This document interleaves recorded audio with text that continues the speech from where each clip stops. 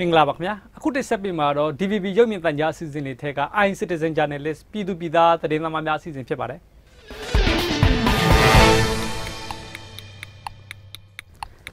အခုတစ်ဆက်ပြီးမဲ့သတင်းကတော့တိုက်ကြီးမြို့တဲ့တစ်တော်ပဲ့ပြဲရေးမြေပေါ်မှာတည်ထားတဲ့ကြေးရွာတရွာအရင်ကစရင်ကောက်ခန့်တဲ့ချိန်မှာမပါဝင်သူတွေကိုအနိုင်ပေးလိုက်တဲ့အတွက်အမှန်တကယ်နေထိုင်တဲ့သူတွေကမကျေနပ်တဲ့အကြောင်းပြောဆိုထားတဲ့သတင်းရုပ်သံပါခင်ဗျာရှုစားပါ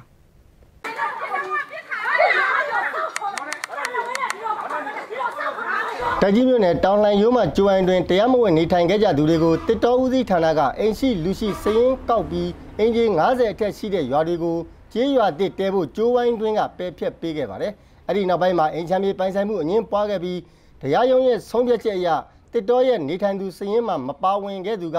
အနိုင်ရသွားတဲ့အတွက်မကြည်မနှက်ဖြစ်နေတာပါ။အိမ်နဲ့ခြံကိုလည်းပဲတော်တော်ကကိုကျော်ဝင်းမိသားစုဆိုတာအိမ်ရောလူရောမိသားစုဓာတ်ပုံလည်းပဲရိုက်သွားပါတယ်တော်တော်ရုံးပါလည်းရှိပါတယ် နာမည်စရင်မှလည်းဒီမှာခြံကောက်သွားတာကိုလည်းတော်တော်ကဒီဟိုတချမ်းဒီဆိုတာကိုလည်းပဲဒီခြံဆိုတော့တော်တော်ကိုယ်တိုင်ကဒါပြီးတိုင်းခွာပေးလို့သူခဲ့တာပါအဲ့ဒီကျမတို့ရှိရထောက်ထားရှိရစာအုပ်ကလည်းတော်တော်ကိုယ်တိုင်ထုတ်ပေးသွားတာပါမိသားစုလုံးလိုက်ပြီးတော့ထောင်ထဲမှာထောင်ထဲမှာထောင်ထဲမှာထား2073 9လပိုင်းမှာအုပ်ချုပ်မှုနဲ့တစ်တော်တွေနဲ့လာပြီးတော့ဒီမှာမှန်ကန်တဲ့လူတွေအင်ဂျင်90အထက်ဆိုပြီးတော့လာကောက်သွားပါတယ်ဒါပေမဲ့အင်ဂျင်80ကျော်ပါတယ်ကျွန်တော်တို့ကဒါ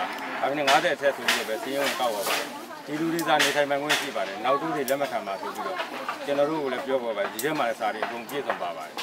ရေဆိုင်လို့ရှုံးပါတယ်ဒါပေမဲ့အထောက်ထားပြန်ရင်ကျွန်တော်ဖဲပေးပါဗျာကြာမင်းကြာကြာမင်းသမီးတို့ကနေမဲ့ကျန်တော့သူတို့ကဥသွားတဲ့အတွက်လက်ရှိသူတို့ကနေနေလက်ပြီးပဲသူတို့ပဲပိုင်ဆိုင်မဲ့ဖြစ်နေတာပဲနာမည်ထွက်နေတာပေါ့သမီးရောက်ခုရှိမှဒီရုံးနဲ့ရှင်းတယ်ပဲရှင်းအဲ့ဒီကိစ္စနဲ့ပတ်သက်ပြီးတေတော်ဦးစီးဌာနစရင်ကောက်ခဲ့ခြင်းအခြေအနေကိုအခုလိုအတည်ပြုပြောကြားခဲ့ပါတယ်အဲ့ဒီအချိန်တော့စည်ရင်ကောက်တော့က မင်းတို့စည်ရင်နေငါပေးမင်းတို့ဘယ်နဲ့ဧကရှိဘယ်နဲ့ဧကရှိတော့မင်းတို့ပယ်ဖြတ်ပေးမှလို့တယောက်မှမသိဘူးစည်ရင်ကောက်တဲ့အချိန်ကအရင်တော့ကကျွန်တော်တို့တနိုင်ငံလုံးမှာရှိတဲ့ကျိုးဝိုင်းနေတဲ့မှာဒီလိုကျူးနေတဲ့လူတွေအကုန်လုံးကပြောတာတတော်ကလူလာရင်ကြောက်ကုန်နေတာစည်ရင်ကောက်ပြီဆိုတော့တန်တရားဆွဲတာအဲ့အချိန်တော့စည်ရင်ကောက်တာဘယ်သူမှနာမည်မပေးရဘူးထောင်မချမှာလားအေးယူမှာလားအဲ့လိုမျိုးနဲ့ပဲ ပြေးတဲ့လူကလည်းပြေးတယ်ပုံနဲ့ခုနမပြေးတာမပုံနဲ့အဲ့လိုရွာမှာအိမ်ထဲစောင့်နေတဲ့လူတွေကတော့ကဲမထူးတော့ဘူးဆိုပြီးတော့နေကြတာဟုတ်ကဲ့ကျွန်တော်သိထားတာပြောရမယ်ဆိုရင်တော့ဒီဥစ္စာတွေကငကိုတုံးကလည်းပိုင်ရှင်မရှိပါဘူးမရှိတဲ့အတွက်သူလာနေတာဒီသူ့မိပဲဖြစ်နိုင်ပါတယ်။ဟောသူကငယ်နေတာလည်းနှစ်ပေါင်းကများပြီလေတော်တော်ကိုများသွားပါပြီ။ဒီနေရာမှာငကိုတုံးကဟိုကထားကြီးတဲ့လဲမီးတွေလောင်းနေမဲ့သူမရှိတော့ဘသူဖြစ်ဝင်နေကြနေတဲ့လူကကိုပိုင်ရမယ်ဒါကြောင့်ဝင်နေပါတယ်။ နောက်ကမြေလေးတွေတန်ဖို့တက်လာတဲ့ခါကျတော့သူတို့ရောင်းလာစတာကျွန်တော်တို့မသိပါ။အဲ့ဒီကြေးရွာဟာတစ်တော်ကျိုးပိုင်းတွင်းမှာကျူးကျော်နေထိုင်ခဲ့ကြရက2013ခုနှစ်မှာတစ်တော်ဦးစီးဌာနကကျူးကျော်နေထိုင်သူတွေရဲ့စရင်ကောက်ယူခဲ့ပြီး2015ခုနှစ်ဧပြီလမှာတစ်တော်ပိုင်မြေကနေပယ်ဖြတ်ပေးခဲ့တဲ့အတွက်ကျူးကျော်မဟုတ်တော့ပဲရွာအဖြစ်တည်ရှိခဲ့တာပါလက်ရှိနေထိုင်သူတွေကလည်းပိုင်ဆိုင်မှုအမိပေါက်ရဖို့ကြေးရွာမြေအဖြစ်မြေစရင်ရုံးမှာရှောက်ထားဆဲဖြစ်ပါတယ်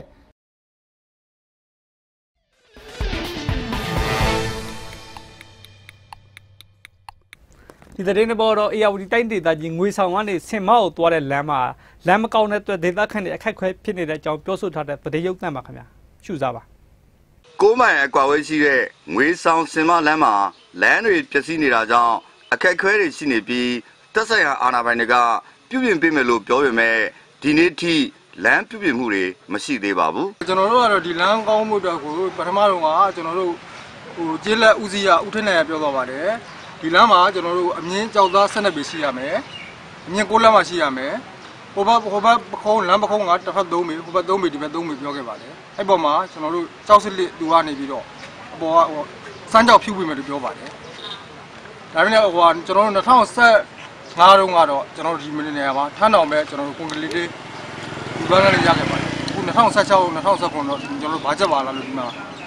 တမိုင်ကျွန်တော်တို့လမ်းရခဲ့ပါတယ် ကျန်တဲ့နေရာမှာတော့ကျွန်တော်တို့အခက်အခဲတွေရှိပါလိမ့်မယ်ဒေသတွင်ထွက်ကုန်တွေကိုငွေဆောင်မျိုးကိုတင်ပို့ဖို့လမ်းမကောင်းတာကြောင့်ဇရိတ်နှစ်ဆ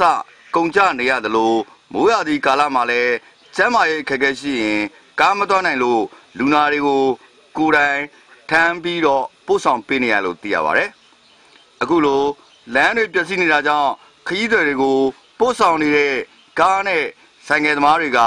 အခက်အခဲရှိရလို့သိရပါတယ်အဲ့တော့ဒီပေါ့နော်ဒီငွေရသည်ဆိုရင်တော့လမ်းနေရတော့ကောင်းတယ်ကောင်းပြီမဲ့ဒီလိုပေါ့ပေါ့အခု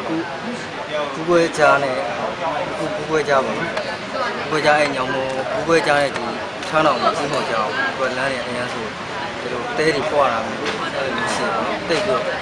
ဆိုင်ကဆွဲတာတိတ်ပေါ့အဲ့လိုရှိတယ်အားပြီးတော့ဒီဟိုကန္နာ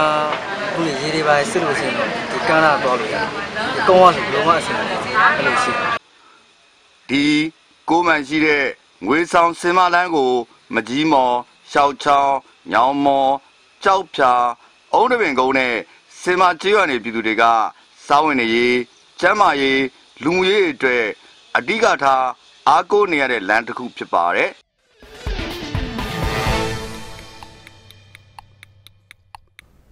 ခုတစ်ဆက်ပေးမဲ့တဲ့င်းကတော့မကွေးတိုင်းဒေသကြီးမင်းဘူးခရိုင်မှာစားသုံးသူအငင်းပေါမှုဖြစ်ရှင်းရေးအဖွဲ့ကိုပထမဆုံးဌာနဆိုင်ရာနဲ့တာဝန်ရှိသူတွေကဖွဲ့စည်းလိုက်တဲ့အကြောင်းသတင်းရုပ်သံပါခင်ဗျာရှုစားပါ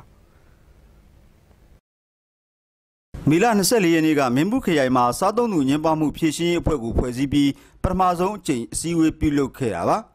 မင်းဘူးခရိုင်အတွင်းမှာရှိတဲ့စားသုံးသူပြည်သူတွေအန္တရာယ်မဖြစ်အောင်အသီးရွက်တွေမှာပါဓာတုဆေးဝါးတွေပါနေတဲ့အတွက်စင်ချင်းချင်းချင်းစားတောက်နိုင်ဖို့နဲ့စားသုံးသူနဲ့ ထုတ်လုပ်သူတွေကြားမှာအငင်းပွားမှုဖြစ်လာရင်ဖြည့်ရှင်းပေးဖို့ဖွဲ့စည်းခဲ့တာလို့ဆိုပါတယ်မင်းမှုခရိုင်အတွင်းမှာရှိတဲ့ပြည်သူတွေပေါ့စားသုံးသူပြည်သူတွေဒီစားတောက်တွေနဲ့ပတ်သက်ပြီးတော့အန္တရာယ်မဖြစ်အောင်ထို့ပြီးတော့ကျွန်တော်ဓာတုဆေးဝါးတွေအပြီးတော့ဒီမှာလည်းပါနေတဲ့ဆိုရင်ဒါတွေကိုကျွန်တော်ကစဉ်းစဉ်စားတောက်နိုင်မှုနဲ့စားသုံးသူနဲ့ထုတ်ပြီးတော့ကြားမှာဖြစ်လာတဲ့ပြဿနာငင်းပေါင်းဖြစ်လာတယ်ဆိုရင်ဒီခရိုင်ငင်းပေါင်းဖြည့်ရှင်းပြရပြီးတော့ကျွန်တော်ကပြန်ဆောင်ရွက်ပြီးတော့မှဒါဒီလိုတခုတော့ရှိပါတယ်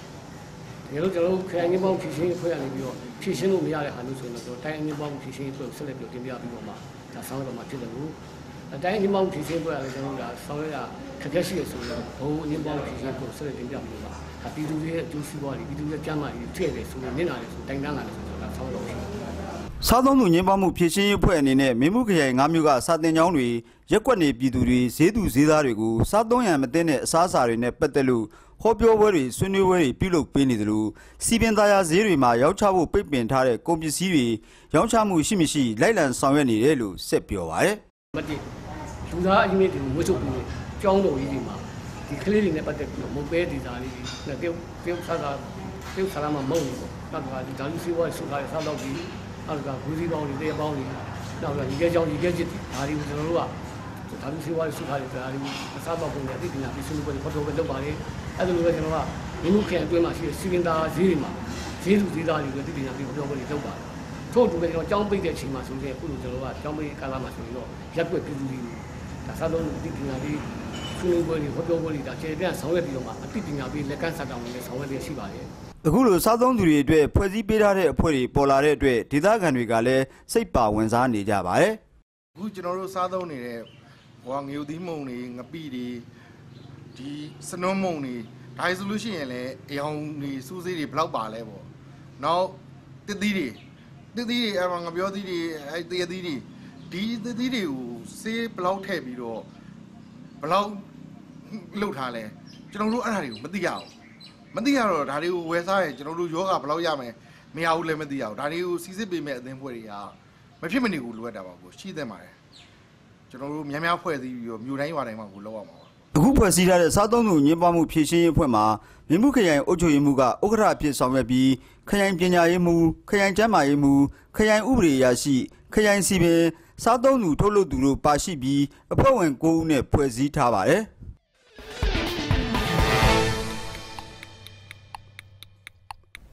အခုတစ်ဆက်ပေးမဲ့တဲ့င်းကတော့အလောက်ကင်ခွေလန်ရေးအတွက်ရည်ရွယ်ပြီးတော့ပြည်နီးပညာတက္ကသိုလ်မြို့ပြအင်ဂျင်နီယာစီနီယာကျောင်းသားတွေဟာဆွေးနွေးပွဲတစ်ခုပြုလုပ်ခဲ့တဲ့သတင်းရုပ်သံပါခင်ဗျာရှုစားပါကျောင်းပြီးသားရဲ့အလောက်ကိုင်အသက်မွေးမှုတွေအတွက်အထောက်ပံ့ဖြစ်စေဖို့ရည်ရွယ်ပြီးပြည်နည်းပညာတက္ကသိုလ်မြို့ပြဘာသာရပ်သင်တန်းကကျောင်းသားတွေနဲ့ဆရာတွေကအခုလိုဆွေးနွေးစကားဝိုင်းပြုလုပ်တာပါဒီစီမီနာမှာနည်းပညာတက္ကသိုလ်ကဘွဲရပြီးလက်ရှိအောင်မြင်နေတဲ့ကုမ္ပဏီပိုင်ရှင်တွေ CEO တွေအွန်လိုင်းပညာရှင်တွေကိုဖိတ်ပြီး သူတို့ဖြတ်သန်းခဲ့တဲ့အတွေ့အကြုံတွေအောင်မြင်မှုတွေနဲ့ပတ်သက်ပြီးဝေမျှဆွေးနွေးစီခဲ့ပါတယ်ကျွန်တော်တို့ဒီအင်ဂျင်နီယာအောက်ပညာတွေနဲ့ဘလုံလောက်တာမဟုတ်ပါဘူးရှင်အပြင်မှာလည်းတကယ်သုံးချပြီဆိုရင်ကျောင်းမှာသင်လိုက်တဲ့သင်ခန်းစာ theory တွေကိုပဲအခြေခံပြီးတော့တွက်ယူရတာပါအဲမဲ့အပြင်ကလက်တွေ့ကိုသူတို့အပြင်မှာ experience ရခဲ့တဲ့လူတွေကနေပြီးတော့ knowledge sharing လုပ်ပေးနိုင်တယ်ဆိုလို့ရှိရင်ပို့ပြီးတော့ဟိုမြင်ကျလာစေဖို့ပါရှင်နီးပညာတွေနဲ့ပတ်သက်ပြီးကျောင်းပြင်ပဘာသာရပ်တွေနိုင်ငံတကာအသစ်တွေ့ရှိချက်တွေကိုလေ့လာသိရှိနိုင်မှု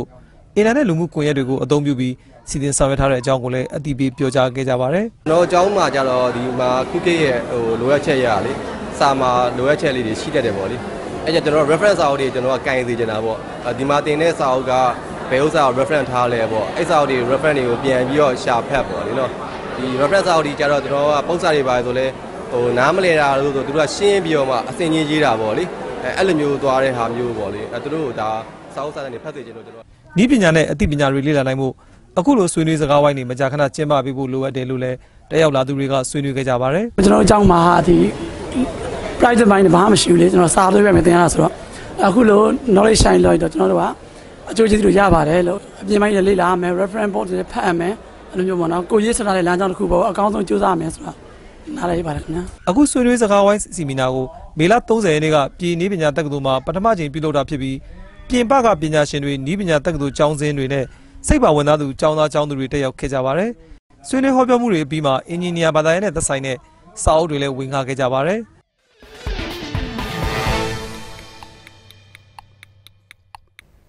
အခုတစ်ဆက်ပေးမဲ့သတင်းတဘောတော့ ARD တိုင်းဒေသကြီးငွေဆောင်ကမ်းခြေမှာသတင်းတော့တင်နန်းပူချနေတဲ့သတင်းရုပ်သံလေးပါခင်ဗျာဒီသတင်းကိုလည်းရှုစားပါဦးခင်ဗျာ AR တိုင်းတွေကသတင်းတော်ပညာစိတ်ဝင်စားသူတွေကိုငွေဆောင်ကမ်းခြေမှာတင်နန်းပို့ချနေတာဖြစ်ပါတယ်အဲရောက်ဒီရဲ့စပြီးတော့ဖွဲ့တဲ့ကြီးရဲ့ချက်ကလည်းဒီရောက်တိုင်းဒေတာမှာမီဒီယာလောကဖွံ့ဖြိုးဖို့သတင်းတောက်တွေကိုရေးသွင်းမြင့်တင်ပြီးဖို့နောက်ပြီးတော့နောက်ထပ်သတင်းတောက်လူငယ်လေးတွေအများအပြားထွက်ပေါ်ဖို့ရည်ရွယ်ထားပြီးဖွဲ့စည်းတာဒီတင်နန်းကိုမေလ18ရက်နေ့ကနေ23ရက်နေ့ထိ6ရက်ကြာတင်ကြားသွားမှာဖြစ်ပါတယ်တင်နန်းကိုငွေဆောင်ကမ်းခြေက တီလာရခိတဘုံကြီးကျောင်းမှာပြုလုပ်နေတာဖြစ်ပြီး AR တိုင်းကတင်နန်းသားတင်နန်းသူ20တက်ရောက်တင်ကြားနေတာဖြစ်ပါတယ်ရင်းတော့ဖြစ်ချင်ပါတယ်ပြည်သူနဲ့အစိုးရကြားမှာဆက်ဆံမှုရှိပြီးနားလည်မှုရှိပြီးမှန်ကန်တဲ့သတင်းတွေကြားသိချင်တယ် AR တိုင်းမြန်မာ journalist ကိုရဲ့အနေနဲ့အလူရှင်တွေရဲ့ထောက်ပံ့ငွေနဲ့တင်နန်းပို့ချနေတာဖြစ်ပြီးသတင်းတော်ကျဝင်နဲ့မကိုက်ညီတဲ့ငွေကြေးထောက်ပံ့မှုတွေကိုလက်မခံဘူးလို့တာဝန်ရှိသူတွေကပြောပါတယ် ရှားဘွက်ဒီတအခုကမ်းလှမ်းနေရတော့အများကြီးဒါပေမဲ့ကျွန်တော်တို့အနေနဲ့ကတော့ဟိုဟာလုပ်ငန်းရှင်တွေရှိအောင်မယူဘူးနောက်ထပ်ကမ်းလှမ်းလာတဲ့တခြားတော့ဟိုအနောက်ဘက်မကင်းဘူးသတင်းဂျေးဖို့ပေးတာနဲ့သတင်းမရေးဖို့ပေးတာနှစ်ခုလုံးမယူဘူးလို့ဆုံးဖြတ်တာပါကျန်တာကတော့ကျန်တဲ့အနေထားတော့မီဒီယာလောကဖွံ့ဖြိုးဖို့ခြေတနာနဲ့ပံ့ပိုးမယ်ဆိုတော့ကျွန်တော်တို့လက်ခံပါမယ်တင်နန်းမှာအခြေခံသတင်းတော့ပညာနဲ့စမတ်ဖုန်းနဲ့သတင်းယူ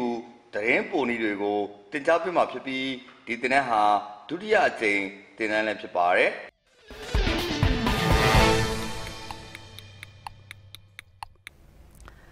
အခုတင်ဆက်ခဲ့တာတော့ DVB ရုပ်မြင်သံကြားအစီအစဉ်တွေတဲက i Citizen Journalist ပြည်သူပြည်သားသတင်းသမားများအစီအစဉ်ဖြစ်ပါတယ်ဒီအစီအစဉ်အတွက်မိမိတို့ရက်ဒေသမှာဖြစ်ပေါ်နေတဲ့သတင်းအချက်အလက်တွေအများနဲ့သက်ဆိုင်တဲ့သတင်းဓာတ်ပုံဗီဒီယိုတွေကိုပေးပို့နိုင်ပါတယ်ခင်ဗျကျွန်တော်ကတော့ဇော်မွေပါ